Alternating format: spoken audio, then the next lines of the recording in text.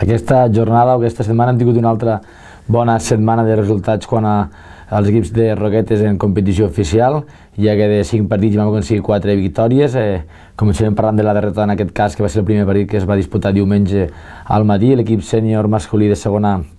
catalana caia davant el club voleibol Cunit, tercer a la classificació per un ajustat 1 a 3, on tots els parcials es van decidir per, per tan sols la diferència de, de dos punts al marcador fet que, que va reflectir-se que els dos equips estaven molt igualats i tots els equips es podrien haver emportat la victòria. En aquest cas va ser per als nois de, de Cunit, però bé, fa, eh, fa que els nois de Roquetes eh, siguin capaços de, de veure que poden enfrontar-se en qualsevol equip de la classificació i que segueixen en, en opcions matemàtiques de, de colar-se la part alta o al grup alt de, de l'ascens de, de categoria en aquest cas. Ja tot seguit parlarem dels altres equips que tenien competició. L'equip sènior femení aconseguia una treballada victòria davant el QE de la classificació, l'Hospitalet B, per un 3-1, on les noies roquetes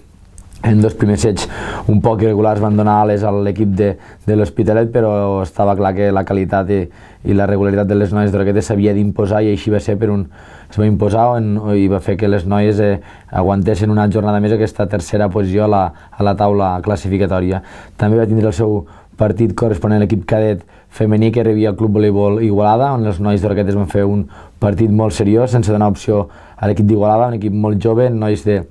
que fa molt poc que, que juguen a voleibol i així es va veure reflectit al marcador per un 3-0 molt còmode per als nois de, de Roquetes quan el cadet femení també va aconseguir una victòria una setmana més per 3-0, també en un resultat eh, molt còmode, en un partit molt ben controlat per les noies de Roquetes que fa que una setmana més segueixen líders d'aquest grup cadet preferent de, de la Lliga Catalana en aquest cas. I ja per acabar, l'equip sènior masculí de Primera Catalana segueix una jornada més al capdavant, eh, seguim imbatuts a la, a la classificació, no,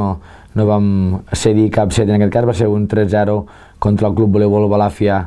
Lleida, on els nois d'Oroquetes eh, el primer set sí que donem opcions a l'equip de Balàfia per a poder complicar-nos molt el set, però després els altres dos sets són molt seriosos i, i certifiquem un, una jornada més com a líders i com a equip imbatut en este grup de la primera divisió catalana. Per aquesta propera jornada tots els equips roquetencs es desplacen a fora de la nostra ciutat, l'equip cadet masculí i cadet femení, tots equips tot just no tenen competició, tenen jornada de descans els dos equips, un per calendari i l'altre per aplaçament per a poder aprofitar un desplaçament i, i jugar dos partits a la, a la vegada. Quan els equips que sí que jugarem fora serem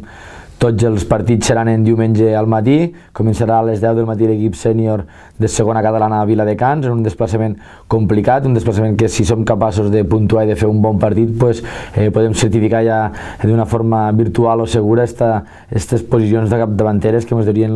l'opció d'estar a la part alta o al grup de promoció ascens a, a primera catalana. Quan l'equip eh, sènior masculí jugarà a les 11 a la pista de la, de la Blume, del Centre d'Aldiment de, de Catalunya, un equip molt jove, equip, jugadors eh, molt joves, però eh, com és un centre d'aldiment, són nois escollits per aquest esport que de ben segur que d'una volta a l'altra pues, ens plantaran cara i serà molt complicat puntuar en aquesta